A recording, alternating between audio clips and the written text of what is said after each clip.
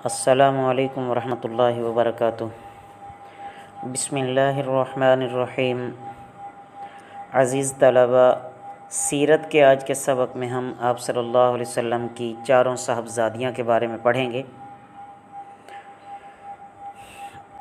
हज़रत फ़ातिमा रज़ी अल्लाह तहा तमाम साहबजादियों में से अफज़ल हैं।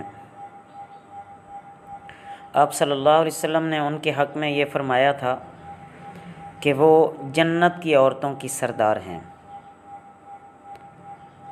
हज़रत फ़ातिमा रज़ी अल्लाह तहा का जहेज़, एक चादर, एक तकिया, उसमें भी खजूर के दरख्त का गोदा भरा हुआ था और एक चमड़े का गद्दा, एक बान की चारपाई, दो मट्टी के घड़े, दो मिशकीज़े, एक चक्की और एक छागल था।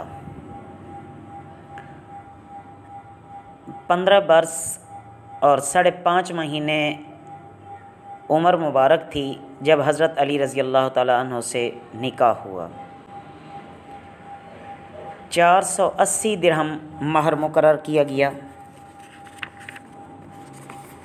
अपने घर के काम काज खुद ही कर लेती थी।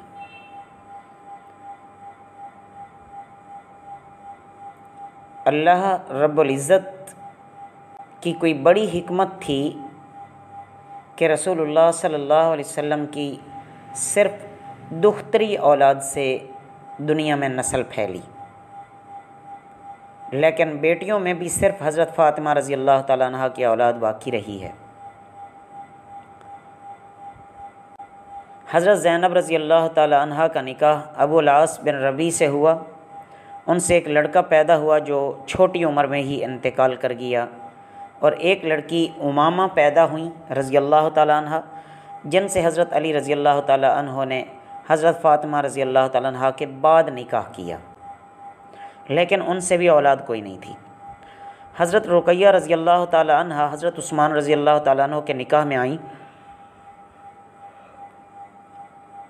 हिजरत हबशा में आप सल्लल्लाहु अलैहि वसल्लम के साथ रहीं। गजब बदर से वापसी के वक्त इस दुनिया से रहलत फरमा गई। इनके भी कोई औलाद नहीं थी। तीन हिजरी में आप सल्लल्लाहु अलैहि वसल्लम ने हज़रत उम्म कुलसूम रज़ी अल्लाह तहा का निकाह भी हज़रत उस्मान रज़ी अल्लाह तह से कर दिया। इसी वजह से हज़रत उस्मान रज़ी अल्लाह तह का लकब जुन्नूरैन है। नौ हिजरी में इनका भी इंतकाल हो गया। उस वक्त आप सल्लल्लाहु अलैहि वसल्लम ने फरमाया कि अगर मेरी कोई तीसरी लड़की भी होती और तो उसको भी मैं हज़रत उस्मान रज़ी अल्लाह तु के निकाह में दे देता। आप सल्लल्लाहु अलैहि वसल्लम की बाकी अजवाज मतहरात रज़ी अल्लाह के बारे में आप सल्लल्लाहु अलैहि वसल्लम ने हज़रत ख़दीजा रज़ी अल्लाह तहा की हयात मुबारक में किसी और औरत से निकाह नहीं किया। हिजरत से तीन साल पहले जब उनकी वफ़ात हो गई तो आप सल्लल्लाहु अलैहि वसल्लम की उम्र मुबारक उस वक्त उनचास वर्ष की हो चुकी थी। उसके बाद आप सल्लल्लाहु अलैहि वसल्लम के निकाह में दीगर ख़वातीन आईं। जो हमारी उम्मातुलमिन हैं।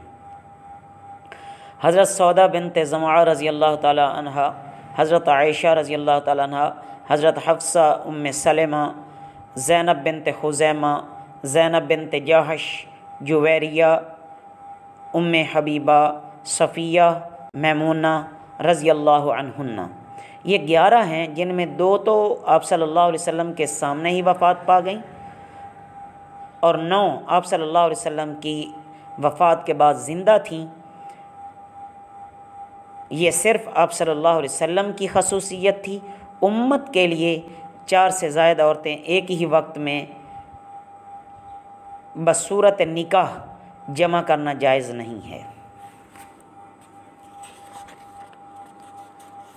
हर एक उम्मातुलमिन के बारे में से मुख्तसर सा तारफ़ आपके सामने आ जाता है कि हज़रत सौदा रज़ी अल्लाह तह ये पहले सकरान बिन अमर के निकाह में थी, इसके बाद आप सल्लल्लाहु अलैहि वसल्लम के निकाह में आई। हज़रत ऐशा सिद्दीक़ा रज़ी अल्लाह तह ये हज़रत बकर सिद्दीक़ रज़ी अल्लाह तह की साहबजादी हैं। छः बरस की उम्र में आप सल्लल्लाहु अलैहि वसल्लम से निकाह हुआ और नौ साल की उम्र में रुखसती हुई। आप सल्लल्लाहु अलैहि वसल्लम ने जब इस दुनिया से पर्दा फरमाया तो हज़रत ऐशा रज़ी अल्लाह तह की उम्र मुबारक अठारह साल थी। आप सल्लल्लाहु अलैहि वसल्लम की सोहबत से क्या रंग चढ़ा? इसका हाल इससे मालूम हो सकता है कि बड़े बड़े सहाबा रज़ी अल्लाह मजमाइन फरमाया करते थे कि जब हमें कोई मसला पेश आता या किसी मसले में हमें शक होता तो हम अम्मी ऐशा रज़ी अल्लाह तह के पास जाकर इसका इल्म पाते थे। हज़रत हफ्सा रज़ी अल्लाह तहा हज़रत उमर रज़ी अल्लाह तह की साहबजादी हैं और हिजरत के दूसरे या तीसरे साल में आप सल्लल्लाहु अलैहि वसल्लम से इनका निकाह हुआ। हज़रत ज़ैनब बिनत खुजैमा रज़ी अल्लाह तहा ये पहले तुफ़ैल बिन हारिस के निकाह में थी, उसने तलाक दे दी। फिर इसके भाई उबैदा रज़ी अल्लाह तु से निकाह हो गया। वो गज़वा बदर में शहीद हुए तो गज़वा अहद से एक महीना पहले ये आप सल्लल्लाहु अलैहि वसल्लम के निकाह में आईं और सिर्फ़ दो महीने आप सल्लल्लाहु अलैहि वसल्लम के निकाह में रहीं और फिर इस दुनिया से रेलत फरमा गई। यहाँ तक अज़ीज़ तलबा, आप अच्छी तरह याद कर लें। बकिया इन अगले सबक में पढ़ेंगे। वमा अलैना इल्लल बलागुल मुबीन।